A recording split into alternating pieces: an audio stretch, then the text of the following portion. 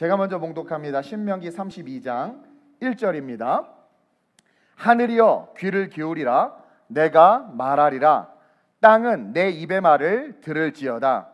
내 교훈은 비처럼 내리고 내 말은 이슬처럼 맺히나니 연한 풀 위에 가는 비 같고 채소 위에 단비 같도다. 내가 여호와의 이름을 전파하리니 너희는 우리 하나님께 위엄을 돌릴지어다 그는 반석이시니 그가 하신 일이 완전하고 그의 모든 길이 정의롭고 진실하고 거짓이 없으신 하나님이시니 공의로우시고 바르시도다. 그들이 여호와를 향하여 악을 행하니 하나님의 자녀가 아니요 흠이 있고 삐뚤어진 세대로다. 어리석고 지혜 없는 백성아 여호와께 이같이 보답하느냐 그는 내 아버지시요 너를 지으신 이가 아니냐. 그가 너를 만드시고 너를 세우셨도다. 함께 옛날을 기억하라. 역대의 연대를 생각하라. 내 아버지께 물으라. 그가 내게 설명할 것이요. 내 어른들에게 물으라. 그들이 내게 말하리로다. 아멘. 오늘 이 본문을 가지고 따라합시다. 회복을 위하여. 라는 제목으로 은혜를 좀 나누려고 합니다. 지금 우리는요 회복이 필요한 시대를 살아가고 있어요. 여러 모양으로 회복이 필요한 정치, 경제, 사회, 문화, 예술 모든 영역. 자매들 자꾸 거울 보고 외모의 회복이 필요하다라고 말하는데 정신 차리시길 주님의 이름으로 축원드려요. 외모보다도 더 중요한 것은 비전이 회복돼야 되고 꿈이 회복돼야 되고 무엇보다도 천국이 실제라는 게 회복돼야 돼요. 천국이 실제이고 복음이 실제인 게 회복되면 지금 우리가 살아가는 삶의 모습과는 우리의 모습이 아주 많이 달라질 수 있다라는 거죠. 비본질을 회복하려고 하지 말고 본질이 회복되기를 위해서 기도하고 그 본질에 집중하는 저와 여러분들 되시길 주님의 이름으로 축원드립니다. 지금 백신을 통해서 일상으로 회복되기 위해서 전 세계가 코로나와 전쟁을 하고 있죠. 어쨌든 지금 이 시대는요 코로나로부터 회복이 필요해요. 또 유럽이든 아시아든 뭐 미국이든 할 것 없이 모든 나라에 불의와 거짓과 악이 가득한데 그 불의와 거짓과 악에서의 회복이 필요합니다. 그리고 전 세계적으로 그리고 특별히 대한민국 이 코로나 시국에 가장 회복이 필요한 게 뭐냐면 신앙의 회복이야. 신앙의 회복이 필요해요.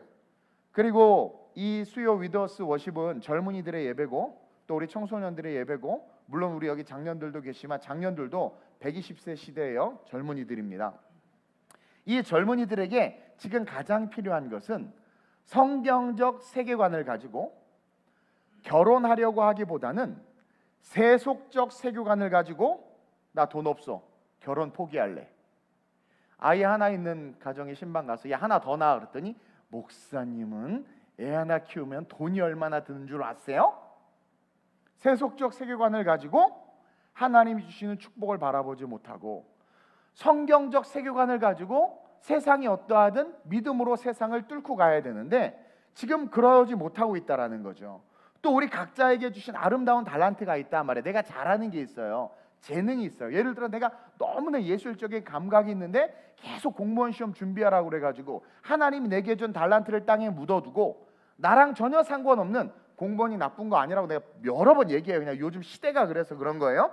그래서 공무원 시험을 열심히 준비하는 것은 어찌 보면 세속적 세계관을 가진 사람들이 살아가는 삶이에요. 한 번뿐인 인생인데 정년 보장되고 연금 나오는 그 공무원이 가장 가치 있는 것일까? 한 번뿐인 인생인데 물론 그것도 그 일을 하는 분들은 가치 있을 수 있지만 정말 내게 주신 달란트가 뭐고 내게 주신 비전이 뭔가 나를 부르신 사명이 뭔가 내가 한 번 사는 인생 무엇을 위해서 살아야 하는가 하나님을 바라보고 꿈과 비전을 향해서 rise up stand up 해야 되는데 그것을 잃어버린 채 그 비전과 꿈을 잃어버린 채 엄마 말 아빠 말 옆집 아저씨 말 듣고 언론의 메시지를 듣고 안정과 물질을 추구하면서 그렇게 살아가는 그 삶, 그 삶이 회복되어져야 된다라는 거예요.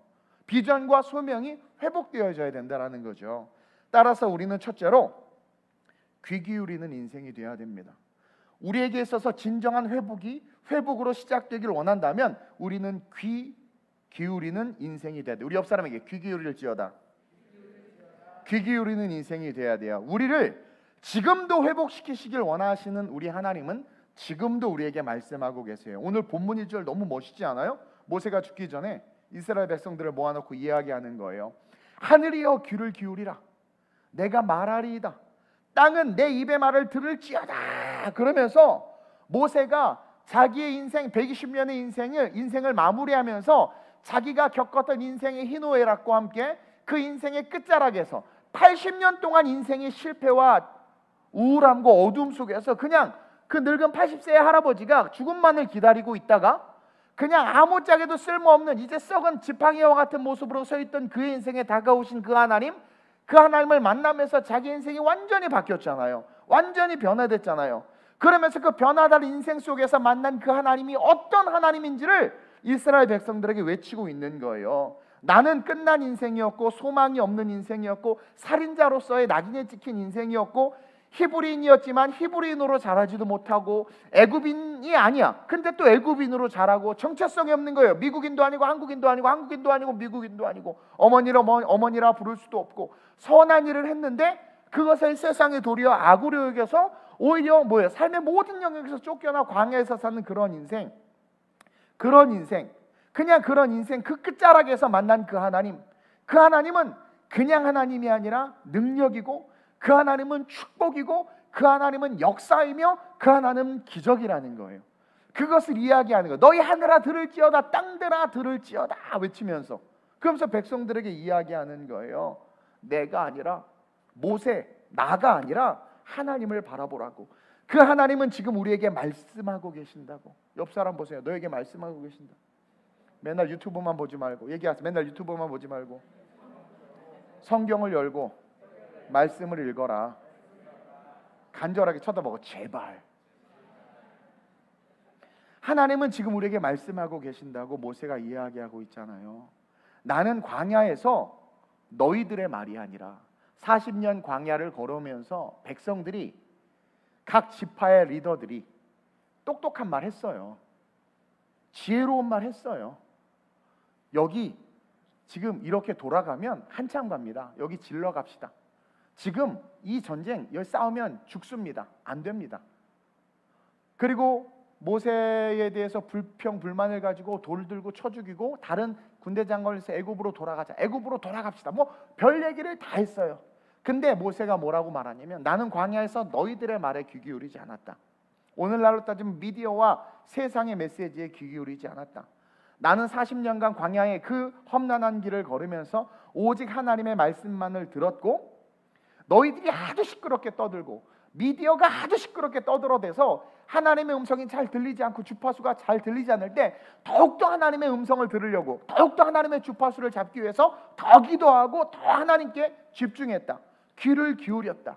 그랬더니 하나님께서 내게 말씀하셨고 말씀하시는 대로 걸어갔더니 하나님께서 광야에서의 회복을 배고픔에서의 풍요로움을 전쟁 가운데 죽음에서의 승리를 주셨다라는 거죠. 그러면서 너희 역시 지금 귀를 기울이라는 거예요. 왜냐 모세 죽어야 돼 이제. 그들 아직 가나안 땅에 들어가지 못했어. 근데 모세는 확신했어.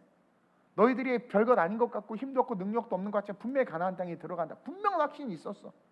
우리는 천국에 들어가요, 여러분. 분명한 모세가 확신이 있었어. 그러면서 그 가나안 땅에 들어가기 위해서는 너네들이 해야 될 가장 중요한 것 그것이 뭐냐? 바로 귀를 기울이는 것이다. 하나님에게 귀를 기울이시는 귀를, 귀를 기울이는 것이다.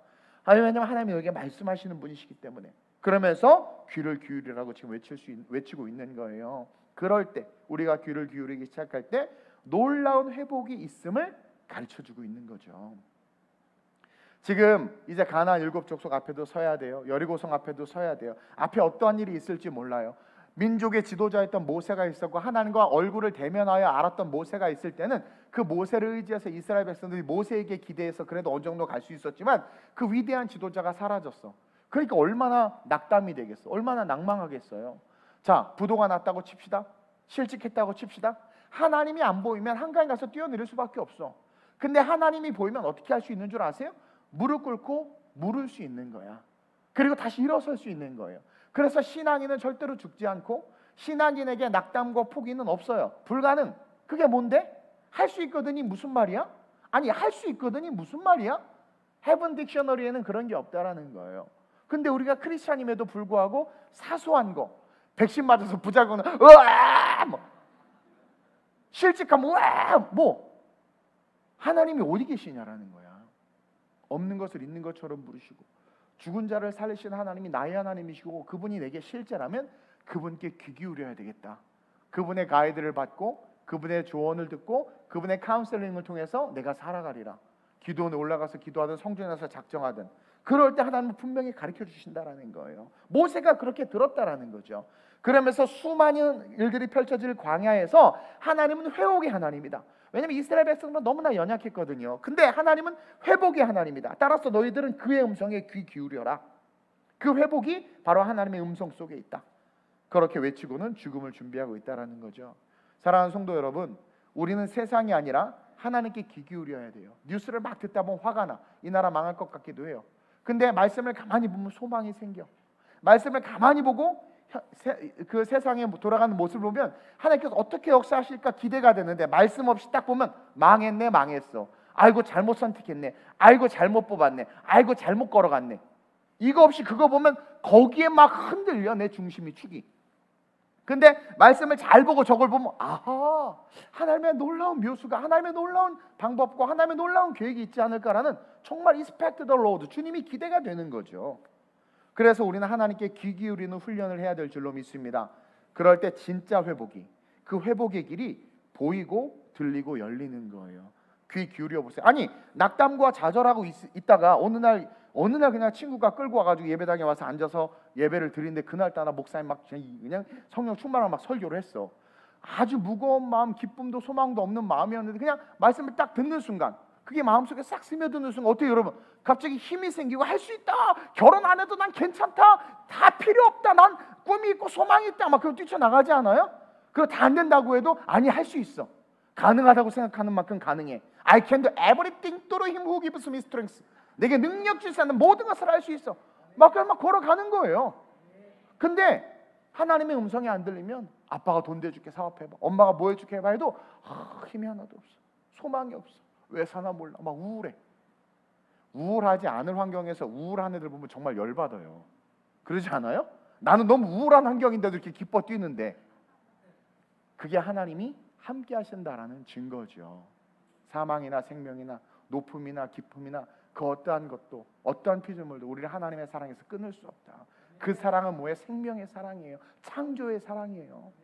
그 사랑으로 말미암아 꿈꾸고 회복되기 위해서 우리는 반드시 귀 기울여야 된다. 그래서 여러분들 귀 기울이심으로 말미암아 여러분들의 삶에 어떤 회복이 필요한지는 모르지만 조용히 말씀 앞에서 귀 기울이고 조용히 설교 앞에서 설교를 집중해서 잘 들으면서 귀 기울이고 또 찬양 속에 그 찬양 가운데 성령의 음성에 세미하게 귀 기울일 때 하나님께서 들려주신 그 음성을 통해서 여러분들 삶에 놀라운 기적이 나타나게 될 줄로 믿어요.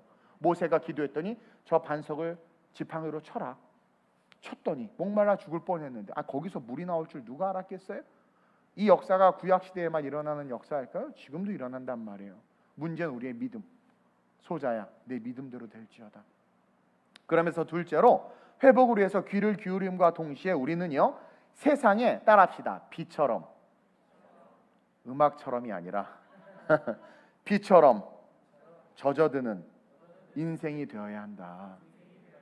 아니 비가 겁나 왔나 봐요. 갑자기 난 몰랐는데 아니 옥상이 그렇게 메말라 있었는데 어 그냥 쫙 젖어 있는 거예요 한 순간에. 그러면서 그 뜨거웠던 열기가 다 식고 바람이 불어오는데 얼마나 시원한지.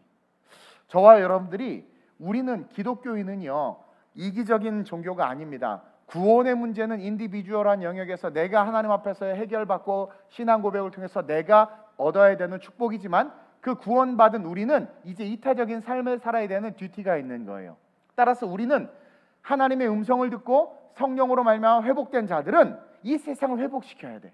그래서 이 세상을 회복시키기 위해서 어떻게 해야 되느냐? 저와 회복된 저와 여러분들이 세상에서 비처럼 젖어든 인생이 돼야 된다는 거죠. 오늘 2절 보세요. 2절에 뭐라고 되어 있어요? 내 교훈은 비처럼 내린다고 그랬어요. 내 교훈은 내 교훈이 뭐예요? 모세가 말하는 거긴 하지만 하나님의 말씀이죠. 하나님의 말씀은 비처럼 내린다. 이 강팍한 세상에 하나님의 교훈은 바로 저와 여러분들을 통해 세상에 비처럼 내린다. 아니 하나님이 뭐 성경을 하늘에서 막 쏟아 부어주나? 무슨 그게 아니에요. 하나님은 이 시대에 이른 비와 늦은 비를 내리시는데 중동 지역의 이른 비와 늦은 비를 통해서 생명이 살 수 없는 그 척박한 땅에도 풀들이 자라요. 이른 비와 늦은 비가 정확하게 옵니다. 그것처럼 이 강팍하고 회복이 필요한 이 세상에 하나님은 저와 여러분들을 이른 비와 늦은 비로 보내는 거야. 그래서 우리가 가서 세상과 싸우고 부딪히는 것이 아니라 복음을 가지고 세상에 어떻게 돼요? 스며드는 삶을 살아야 된다라는 거죠. 지금 얼마나 세상에 불공정이 가득합니까? 청년들이 젊은 청년들이 믿지 않는 자들이 그것 때문에 얼마나 낙담하고 좌절하고 있어요. 여러분들도 낙담하고 좌절하고 있잖아요. 따라서 우리는 세상 향해서 불공정과 악이 가득한 세상에서 외쳐야 돼. 어떻게? 오늘 4절 말씀과 같이 4절 보세요. 우리 하나님은 정의롭고 진실하고 거짓 없으신 하나님이시니 공의로우시고 뭐요? 바르시도다. 우리가 원하는 거 아니에요? 우리가 원하는 그 원함, 그 본체가 바로 우리 하나님이라는 거죠. 따라서 우리가 그분으로 말미암아 회복된 심령을 가지고 우리 하나님은 그런 분이야라고 외치면서 세상에서 그렇게 삶을 살아내야 된다라는 거예요. 그리고 그렇게 외치고 그 삶을 살아내는 우리를 세상 사람들이 딱 보니까 우와 멋지다. 우와 정말 정말 우리를 우리가 그렇게 젖어들어서 바르고 공의롭고 정의롭고 진실하고 거짓이 없이 살아가는 그 모습을 통해서 사람들은 우리를 통해서 누구를 보는 거예요? 하나님을 보는 거죠. 그럴 때 그럴 때 우리는 그냥 그렇게 신앙으로서의 삶을 살아갔을 뿐인데 우리가 걸어가는 그 자리에 막 푸른 돌이 돈 푸른 돌이 돋는 게 아니라 푸른 풀이 돋는 거야. 생명이 막 자라는 거예요. 그래서 야 나도 교회 갈게, 나도 갈게, 막 따라오고 그리고 예수님 성령님이 그 영을 딱 만지는 그 순간 어떻게 돼요? 꿈이 없이 소망 없이 우울증에 집에 앉아서 어? 일본에 집에 처박혀 있는 애들 뭐라 그래요? 무슨 희귀 꽃길인지 뭔지 하여튼 에? 그 인생이 갑자기 문 일부러 그렇게 말하는 거예요 웃으라고 문을 열고 나와 가지고는 나 꿈이 있습니다 나 하고 싶은 일이 생겼습니다 I have a dream 그러면서 일어난다라는 거죠 누군가 보여줘야 될 거 아니에요. 제가 그랬죠. 선물을 받아본 사람이 선물할 수 있고 따뜻한 사랑을 받아본 사람이 사랑할 수 있고 정의와 공의를 경험해 본 사람이 정의와 공의를 베풀 수 있는 거예요. 그것처럼 저와 여러분들이 먼저 하나님 앞에서 회복되어지고 그 한없는 은혜와 나를 살아가신 그 축복 속에 귀 기울임으로 말미암아 내가 어떠한 존재인지를 깨닫고 나를 향한 계획이 평안임을 알고 나를 향하면 놀라운 계획이 있음을 믿고 일어나서 걸어가는 그 삶. 그리고 우리가 걸어가는 그 삶이 뿌려지는 비와 같은 거예요. 생명을 살리는 비. 그래서 살아가다 보니까 주변에 있는 사람들 그 우리를 보고 은혜를 받고 변화되면서 예수 앞에 나오고 그러면서 점점 우리는 의도하지 않았는데 세상이 어떻게 되고 있어요? 치유되고 있다라는 거예요. 지금 악이 세상을 잡고 있잖아요. 어둠의 권세가 세상을 잡고 있잖아요. 또 우리 크리스찬들은 공의롭지도 정의롭지도 못하잖아요. 우리가 얼마나 악합니까? 그러니까 우리 먼저 회복돼야 되는 거야. 하나님의 말씀에 귀 기울이면 제대로 회복이 되는데 인본주의 신앙과 인본주의 신학을 가지고 성경을 덮어놓고 믿는 거죠.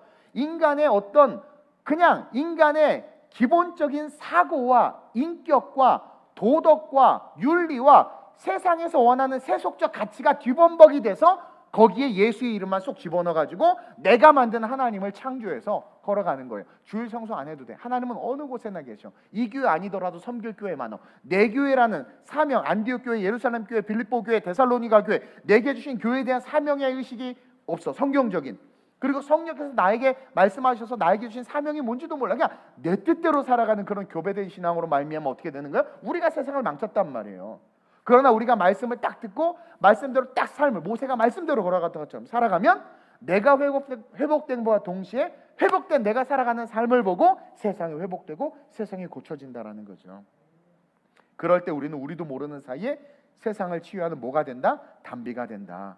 세상은 우리를 통해서 하나님을 만나게 되고 그러므로 말미암아 변화되고 그러므로 말미암아 세상은 다시 한번 소망과 꿈이 살아 기쁨의 춤을 추는 인생이 된다라는 거죠. 여러분 예수님의 첫 사역이 뭐였어요? 가나 혼인 잔치. 여러분 설교했어요? 첫 사역. 예수님의 first miracle. 첫 번째 기적이 뭐였어요? 아이고 양조장이어서 포도주 만드는 거야. 여러분 우리가 이걸 잊지 말아야 돼. 제가 여러 번 강조했지만 하나님은 우리 인생이 결혼식과 같은 축제 인생이 되길 원하고 주님 다시 오셨을 때 그 축제의 인생이 우리의 인생의 결론이라는 거예요. 들려 혼인 자체 참여하는 거. 근데 포도주가 떨어졌어. 은혜가 떨어지고 물질이 떨어지기도 하고 건강이 떨어지기도 하고 삶에 문제가 생기면 기쁨이 소멸되죠. 근데 하나님께서 제일 먼저 첫 번째 기적이 가나온인 잔치에서 그 기쁨이 사라지는 혼례 잔치에 그 기쁨이 사라지고 우울함과 신랑 신부를 향한 원망과 그런 어떤 축제의 문화가 사라지는 것을 원치 아니하셔서 극상품의 포도주를 만드셔 가지고 더 기쁨이 넘쳐나게 했다라는 거예요. 바로 그거라는 거죠. 이 어둠이 가득한 세상 우리가 복음의 단비가 돼서 세상에 뿌려질 때 우리 주님은요 당신의 놀라운 기적으로 마태복음 28장에 내가 세상 끝날까지 너희와 함께 있을 것이다 그랬어요. 그렇죠? 모든 민족으로 제자를 삼으려고 회복된 우리가 말씀대로 세상에 뿌려질 때 그 뿌려진 자들에게 내가 세상 끝날까지 너와 함께 할 것이다 그랬단 말이에요. 그럼 세상 끝날까지 함께 하신 나는 그 약속으로 말미암아 우리가 걸어가는 삶의 자리에 계속해서 포도주가 넘쳐날 거라는 거예요. 즉 세상의 기쁨을 회복시키실 거라는 거죠. 그게 우리 하나님이 원하시는 거예요. 여러분 찬양할 때 기쁘지 않아요? 뭐 가끔 이렇게 슬픈 찬양도 하는데 가능한 한 기쁜 찬양 많이 하시길 바래요. 정말 은혜 속에서 회복되면 막 기뻐 기뻐 기뻐 기쁨으로 막 춤을 추고 막 이래. 근데 맨날 회개 안 하고 막 그냥 세상에서 뒤지게 패배하고 온 애들만 두 손 들고 찬양합니다. 뭐 이러면서 막 어? 저 요단강 건너가 뭐 이런 거만 자꾸 하고 있어. 우리 주님이요 가나온 인잔치에서 포도주를 만드셨다는 사실을 기억하시고 우리가 세상에서 포도주가 되기를 원하신다는 것을 꼭 기억하시길 주님의 이름으로 축원드립니다. 그래서 그것을 믿고 기대하면서 없는 것을 있는 것처럼 부르시고 죽은 자를 살리시는 하나님을 바라보고 기대하고 세상에 뿌려지는 인생 그 인생이 우리가 돼야 돼. 그래서 제가 자꾸 해서 인파워링 힘을 부여하는 거야. 할 수 있어. 너 할 수 있어. 지금 졸고 있지만 그래도 할 수 있어 막 말하고 자고 있어도 할 수 있어 막 말하고 계속 그러는 거예요. 도전하라, 도전. 한 번 사는 인생인데 도전하라, 도전하라. 야 떠나라, 떠나라. 자꾸 그러는 거예요. 본토 친척 아비 집을 떠나. 내가 네게 지시할 땅으로 가라는 거죠. 세속주의로 살지 말고. 그럴 때 우리는 miracle maker들이 될 수 있다. 여러분들 이 좋은 축제, 이 예배에 초대하세요. 여러분들의 세상, 여러분들이 세상에 뿌려지는 인생이 돼서 여러분들을 보고 하나님을 사모하고 예배를 사모하고 교회를 사랑하게 해야 되고 그리고 여러분들이 주변에서 봤을 때 소망 없고 기쁨이 없는 그들을 여러분들이 초대해야 돼. 기도에 초대해야 돼. 기도, 기도. 그리고 필요하다면 여러분들이 그들이 필요로 하는 곳에 달려가야 된다라는 거예요. 그게 뿌려지는 비라는 거예요. 그래서 비는 필요한 곳에 뿌려지기도 하지만 뿌려진 그 비가 세상의 모든 것을 머금고 어떻게 돼요? 낮은 곳으로 흘러 흘러 모여든단 말이죠. 가장 낮고 낮은 곳으로 오신 우리 예수님 말구에 태어나시고 가장 낮고 낮은 곳에 세우신 그 교회 그 십자가의 사랑으로 다 빗물이 모든 세상의 죄악을 끌고 와서 거기서 어떻게 돼요? 예수 십자가로 살아나는 역사. 그래서 우리는 초대해야 되는 거예요. 인비테이션 하시길 주님의 이름으로 축원드립니다. 그러므로 말미암아 메마르고 건조하고 강팍한 세상에서 희망과 소망과 기쁨의 싹이 막 자랄 수 있도록 그렇게 일하는 저와 여러분들 그리고 우리 예배 될 수 있도록 기도하시길 주님의 이름으로 축원드립니다. 그러면서 마지막으로 우리는 회복을 위해서 모든 답을 알고 계시는 하나님께 물어야 돼요. 자꾸 진이야 묻지 마. 자꾸 하이빅스비 묻지 마. 자꾸 쉬리야 묻지 마. 하나님께 물어야 돼. 네이버에 물어봐. 이딴 말 좀 하지 마세요. 하나님에게 물으시길 주님의 이름으로 축원드려요.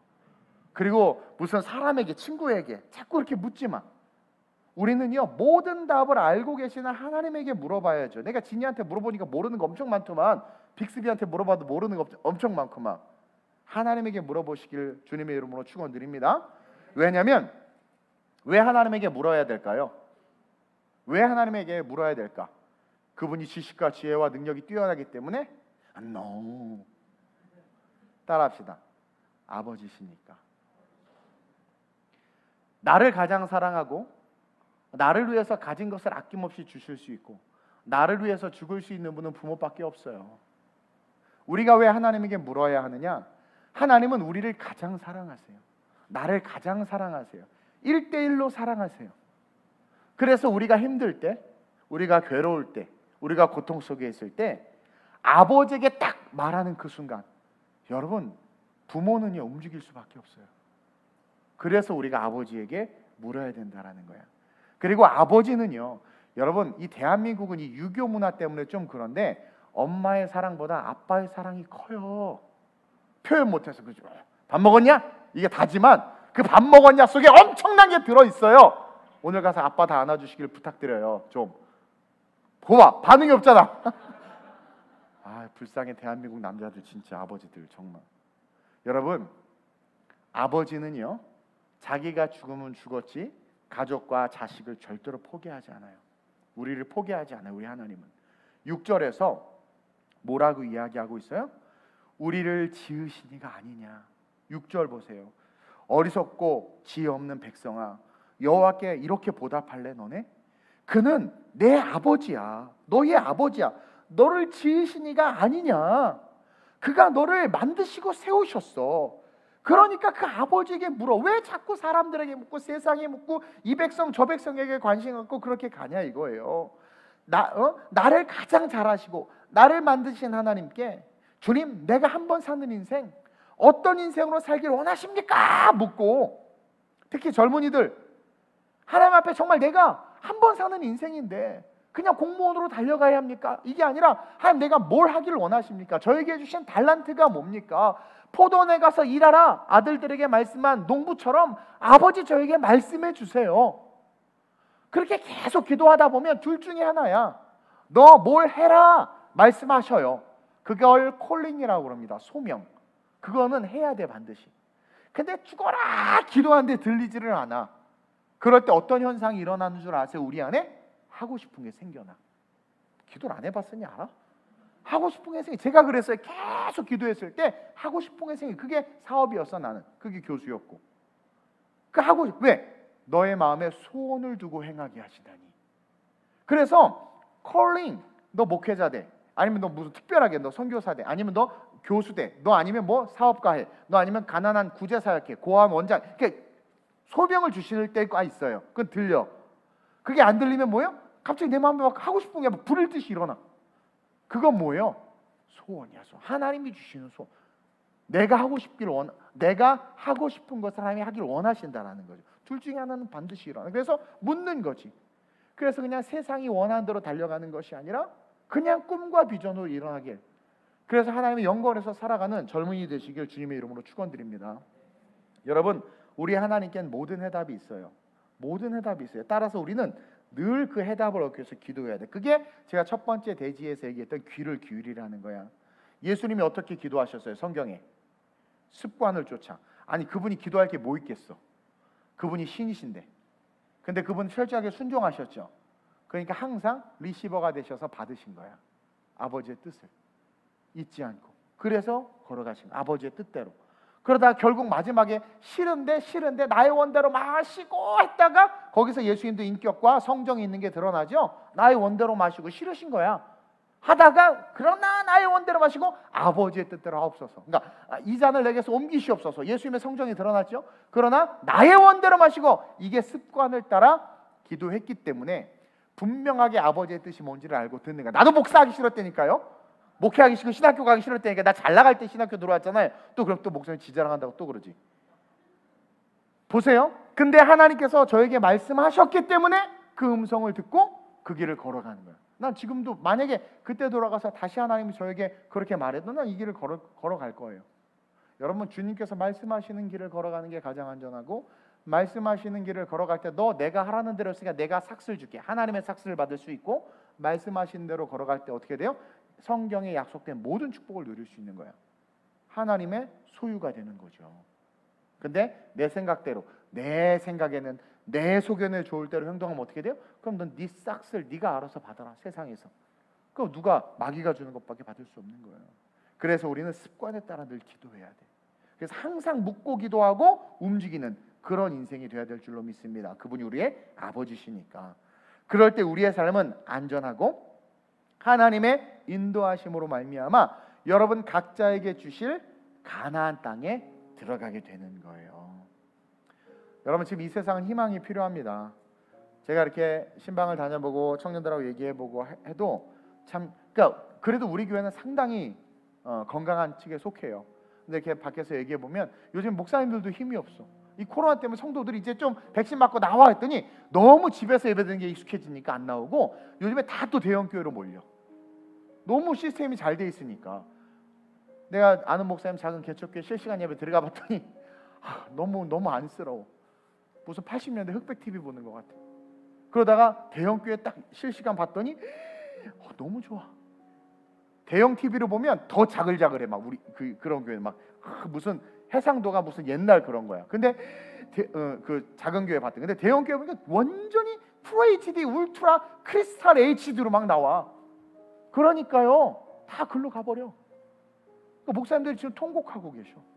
분명히 그 작은 교회라도 사명을 주고 섬기도록 보낸 그 일꾼들이 있을 텐데 디모데 같은 아이들이 있을 텐데 지금 세상이 희망이 필요해요 지금 목회자들도 그렇고 또 우리 성도들도 마찬가지 희망이 지금 얼마나 평생 아파트도 못 사게 생겼어 아우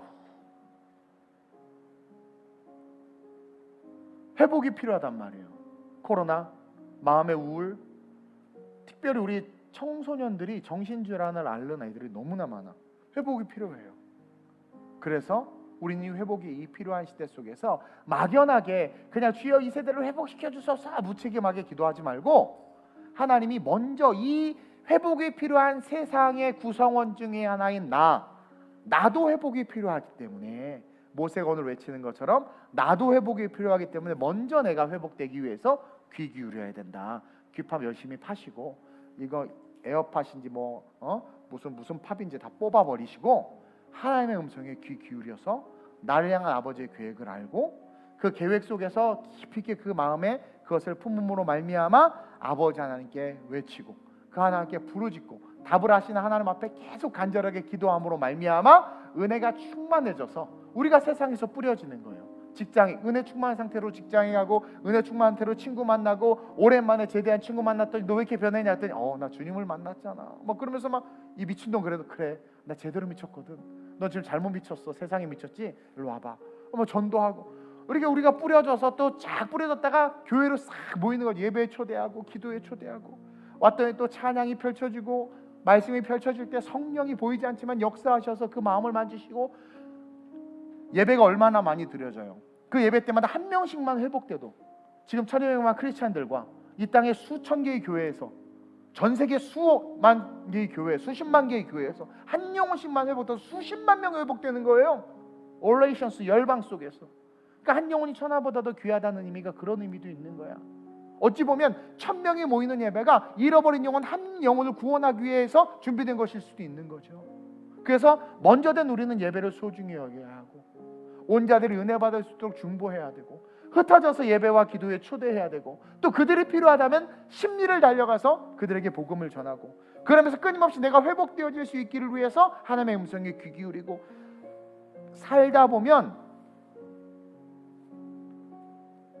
벽을 만날 때가 있어요. 살다 보면 막다른 골목 앞에 서 있는 경우가 있어요. 열심히 살지만 그럴 때 어떻게 하는 거예요? 땅을 치는 게 아니라 눈을 들어 하늘을 바라보고 답을 구하는 거죠. 그러면 어떻게 돼요? 하나님께서 포도주를 준비하신 것 같이 우리의 삶에 놀라운 기쁨과 은혜를 넘쳐나게 하실 것이다. 그래서 우리 시간 한번 기도했으면 좋겠습니다. 이렇게 기도합시다. 하나님, 내가 이 세상이 하나님에게 기울, 귀를 기울기를 원하시는 음성을 들었사오니 이 세상에 속해 있는 내가 하나님의 음성에 귀 기울이게 하소서. 그리고 내가 이 세상에 빛처럼 뿌려지되 세상의 복음을 스며들게 하셔서 나를 통해서 그 복음이 내가 살아가는 삶의 영역에 스며들게 하셔서 내가 살아가는 삶의 모든 영역에 복을 받게 하시고 그 지체들이 예수 생명과 희망을 얻게 해달라고 희망과 소망이 나를 통해서 내 삶의 모든 영역에 자라날 수 있게 해달라고 그리고 어려움과 시련과 좌절에 직면했을 때 마음이 답답함이 있을 때 나를 지으시고 만드신 아버지 하나님 앞에 묻는 삶이 되게 하셔서 끊임없이 기도하고 묻는 자가 되게 하셔서 응답을 통해 승리하며 회복되는 인생 될 수 있게 해달라고 내가 회복되고 내 삶이 회복되고 이 나라와 민족이 회복되고 하나님의 그리스도의 계절을 속히 올 수 있기를 위해서 우리 간절하게 성령께서 우리의 마음에 감동을 주는 사람들이 있다면 그들을 위해서 특별히 꿈과 비전을 잃어버리고 그냥 세상에 아무 생각 없이 조류에 휩쓸려가는 인생들이 있다면 다시 한번 꿈과 비전과 소망이 일어날 수 있게 해달라고 하나님 앞에 물을 수 있는 내가 될 수 있게 해달라고 주님을 세 번 부르고 합심으로 전심으로 기도합니다. 주여!